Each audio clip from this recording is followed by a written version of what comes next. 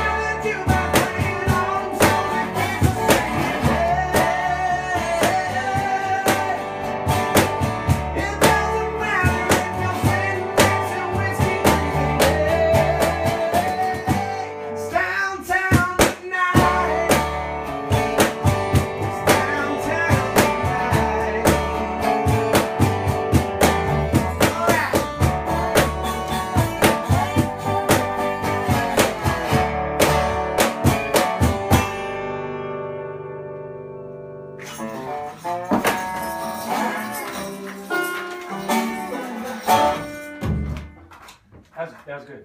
Yeah. I'm glad you did that. I think that really added to it.